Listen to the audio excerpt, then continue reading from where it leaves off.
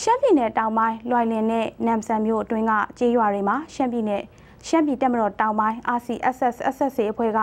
တပ်သားသစ်စုဆောင်းနေတာကြောင့်လူငယ်တွေကြေးရွာတွေကိုစွန့်ပြီးထွက်ပြေးတိမ်းရှောင်နေကြရတယ်လို့သိရပါတယ်။ RFA သတင်းတော်ကိုကျော်သူကတင်ပြထားပါတယ်ရှင်။ရှမ်းပြည်နယ်တောင်ပိုင်းလွိုင်လင်နဲ့နမ်ဆန်မြို့နယ်တွေဟာရှမ်းပြည်တပ်မတော်တောင်ပိုင်း RCSS SSA အဖွဲ့လက်အောက်ခံတပ်တွေတွာလာလှုပ်ရှားမှုများတဲ့မြို့နယ်တွေဖြစ်ပါတယ်။ အခုရက်ပိုင်းတွေအတွင်း RCSS တပ်တွေကကြေးရွာတွေမှာတပ်သားတစ်တွေစုဆောင်းနေတာကြောင့်လူငယ်တွေဟာလွိုင်လင်နဲ့နမ်ဆန်မြို့တွေကိုထွက်ပြေးတိမ်းရှောင်နေကြတာဖြစ်ပါတယ်။သူတို့ချင်းလျှောက်တယ်ဗျာဟို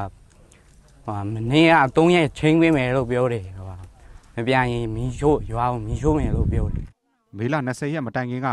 အဲ့ဒီမြို့နယ်တွေကရွာတကြီးတွေကိုတပ်သားတစ်အတွက်လူမပေးနိုင်ရင်ငွေပေးပါဆိုပြီးစာပို့လာတယ်လို့ထွက်ပြေးလာသူတွေကပြောပါတယ်။ တချို့ကြေးရွာတွေမှာတအိမ်ငွေကျပ်2000ကောက်ပြီးပို့ခဲ့ပေမဲ့မေလ21ရက်နေ့ကစပြီးကြေးရွာတွေမှာဝင်ရောက်ဖမ်းဆီးနေတာလို့လည်းထွက်ပြေးလာသူတွေကပြောပါတယ်။ကြေးရွာသားတွေဟာ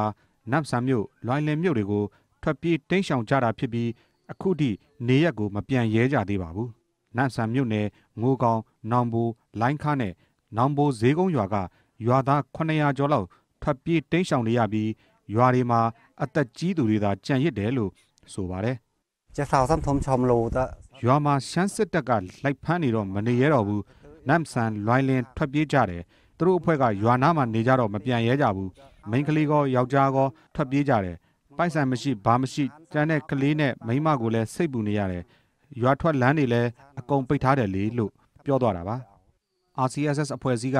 အသက်15နှစ်နဲ့အထက်နဲ့45နှစ်အောက်ကျေးရွာသားတွေကိုတပ်သားသစ်စုဆောင်းနေတာလို့သိရပါတယ်။ အသက်ပြည့်ပြီးတဲ့ယောက်ျားမိန်းမတိုင်းဟာ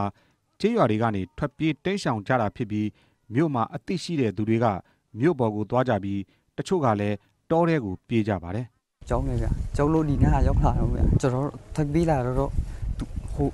တယောက်ပြောတယောက်ပြောပြီးတော့လို့မျိုးအဖေတို့အမိတို့ပြောလာလို့ဒီနာပြေးရတယ် RCSS အဖွဲ့ဟာနှစ်စဉ်ဒီယာဒီမှာတပ်သားစုဆောင်းနေကြဖြစ်ပေမဲ့အရင်နှစ်တွေက ငွေကြေးနဲ့ရွာသားတစ်ယောက်နှစ်ယောက်သာပေးပို့ရတာဖြစ်ပြီးဒီနှစ်မှာတပ်သားခေါ်ယူမှုများပြားလာတာလို့ရွာတကြီးတွေကပြောပါတယ်။နမ်ဆန်မြို့ကိုရောက်ရှိလာတဲ့ကြေးရွာသား80ကျော်ကိုနမ်ဆန်ပအိုးစာပေးနဲ့ယဉ်ကျေးမှုအဖွဲ့နဲ့အောင်စပူကျောင်းတိုက်ဆရာတော်ကအောင်စပူကျောင်းတိုက်မှာယာယီနေထိုင်ခွင့်ပေးထားပါတယ်ခင်ဗျာ။